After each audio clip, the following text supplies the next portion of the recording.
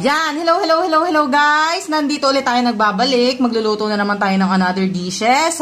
As you can see, ang tagal ko pong hindi nakapagluto. Pero ngayon, magbablog ulit tayo, another vlog. At ang lulutuin naman po natin ngayon is ay Bicol Express. Yan, ba diba? Favorite ko kasi yung may gata. So ngayon, matitikman nyo naman yung luto kong Bicol Express. Ngayon, maghihiwa muna ako ng ingredients. Siyempre, kailangan natin ng luya, bawang, sibuyas. Ngayon, maghihiwa muna ako guys. Dahan-dahan lang at matalim ang kutsilyo. Kung ayaw nyong masama yung kamay nyo sa niluluto natin, magdahan-dahan lang kayo. Yan, babalatan natin ngayon yung luya.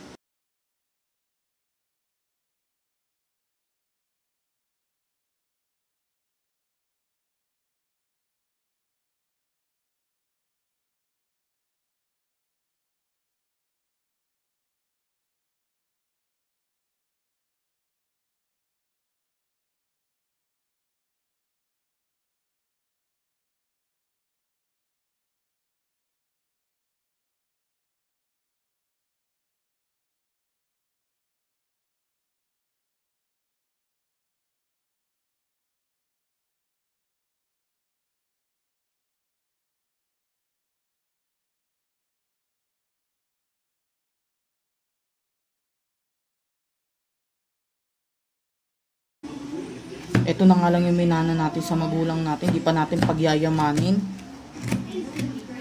Pagyamanin natin yung pagluluto ba.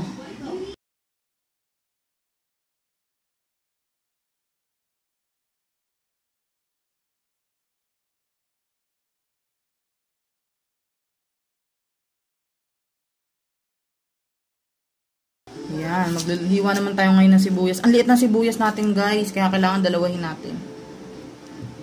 Kasi ang lulutuin natin ngayon, isang kilo na baboy.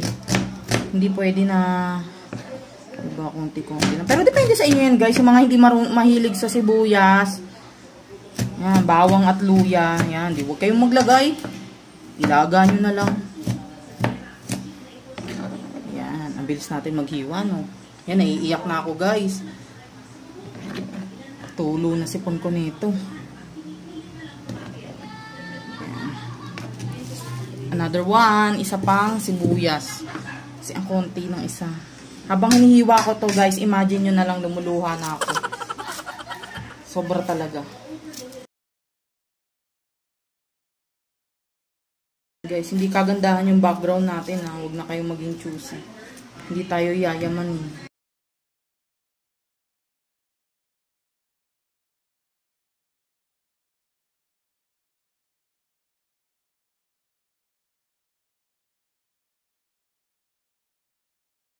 Ready na tayo sa ating bawang. Grabe. Parang langgunisa yung kamay ko.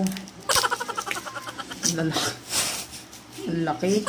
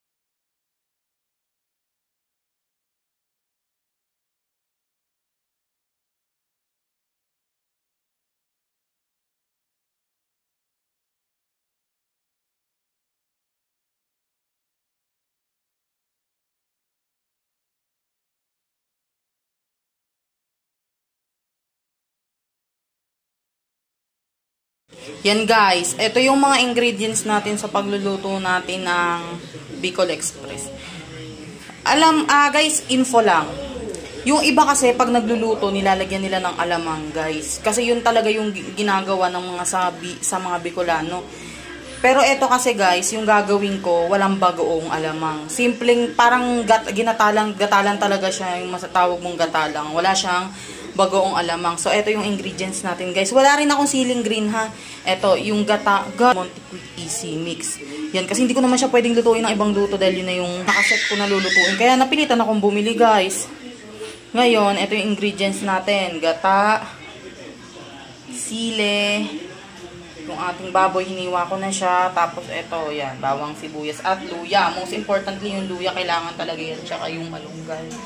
Yan ang ating pampatanggal ng lansa.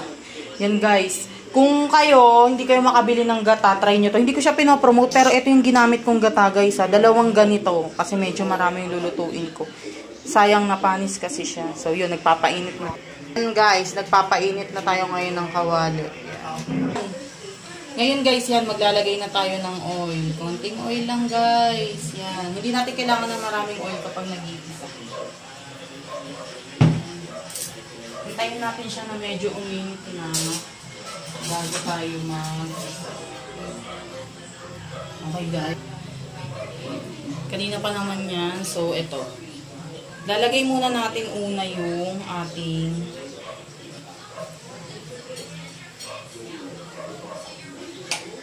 ating sibuyas. Ito lumayo. Nasisira yung ano. eh. Yan. Halu-haluin. Then put the garlic. Yan. Haluin mo ng konti. Hindi mo siya kailangan na sasabing brown-brown pa. Maluluto yun, guys. Yan. Then add the ginger. Hiniwa ko siya ng maliliit para makain din ng mga kapatid ko na hindi kumakain ng bawang. Ay, ng luya. Guys, maganda sa katawan niyang luya, ha. Especially, lagi mo na naglalagay lalo na sa mga gatay. Kasi nakakatanggal yan ng anggo ng ating, or ng lansa. Kahit sa ng mga sinabawan, pwede mo lagyan mo. Then, lalagay na natin yung baboy. Di ba guys, ang dali lang. Guys, pinakuluan ko na yung baboy na yan, pero konti lang, para matanggal lang yung ano niya. Haluin na natin siya. Kaya konti lang yung mantika, okay lang kasi magmamantika yan guys, ng bongga.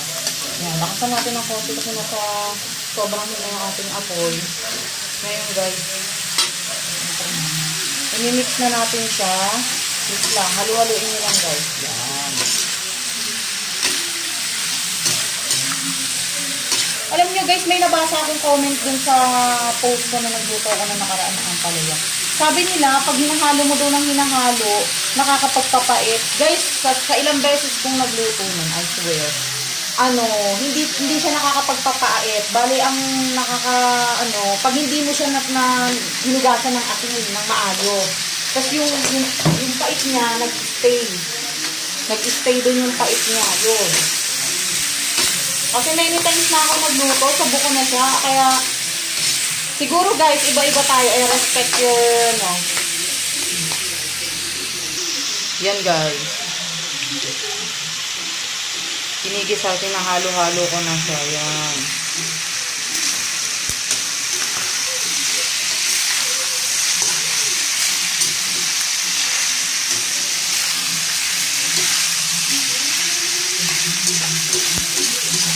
Maintain lang yung paghalo, huwag masyadong ano, kasi dumidikit yung, hindi naman ano yung kawali natin pang mahirap to. Ito guys, yung pork, pork stock, yung pinakulo ko kanina ng baboy, yun ang ilalagay natin. Palalambutin muna natin bago natin ilagay yung gata. Bago natin ilagay yung gata, ngayon, pakukuluin lang natin yan dyan. Kukuluin natin yan dyan. At tatakpan muna. Kulong-kulo na siya. Lagyan natin ng salt. Yan. Konting salt lang. Yan guys. Yung nilagay ko kanina na pork stock. Natutuyot na siya. Yan. Kulong-kulo na siya. Natutuyot na talaga. So, kailangan na natin i-add yung ating gata talaga. Guys, kita nyo naman yung sile. Hindi ko siya hiniwa-hiwa para sobrang ang kasi kalimitan sa Bicol Express is napakaanghang nga, 'di ba? Yung akin hindi ko na siya inanghangan. Hindi ko na siya inanghangan, guys. Gawa ng para makain din ng mga kapatid kong maliliit. Yan. At back to dito tayo, guys. Yan. Kulong-kulo na siya, 'di ba? Now, we can add the gata. Yan. Yan na siya, guys. Add na natin siya. Yan. Guys, yung pagtunaw nga pala doon sa ating powder na gata ay init na tubig para talagang matunaw siya. Yan. Hayaan muna natin siya ulit na kumulo, guys. 'Di ba nilagyan ko na siya kanina ng salt. Ngayon, lalagay ko naman yung ating iba pang pampalasa. Lalagyan ko siya ng konting sugar para medyo sweet siya, guys. Patutuyutin din natin yan.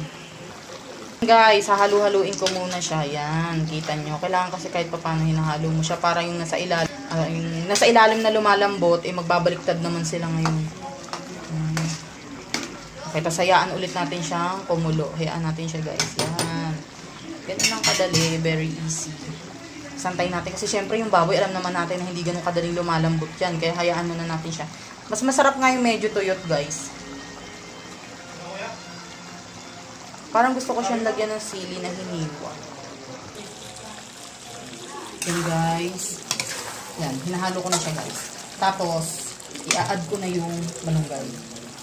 Guys, kapag nagluluto ako, sinasama ko yung tangkay. Kasi guys, alam niyo na, nung nasa Mindanao kami, nalaman ko na yung tangkay ng malunggay. Sinasama pala talaga yan. Tsaka, marami kang makukuha sa sustansya dyan. Mas marami kang makukuha. Malunggay. Yan guys, hinalo ko siya para, para kung may kulo lang ang kailangan natin guys. Yan. Nahalo na natin siya. Tapos ilalagay natin kung parang final sa ibabaw lang kung sili na hiniwa ko kanina. Pero guys ha, sa Bicol Express, talagang merong siling mahaba, yung green. Yun talaga yung nilalagay. Ako guys, wala akong nilagay na ganun.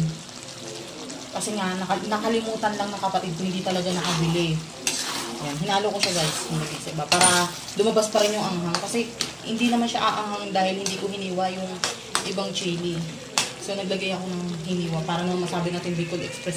Kasi hindi mo naman masasabi yung Bicol Express. Yan, dahil kulang-kulang yung ating pampaanghang. Dapat verde talaga yung chili na gamit.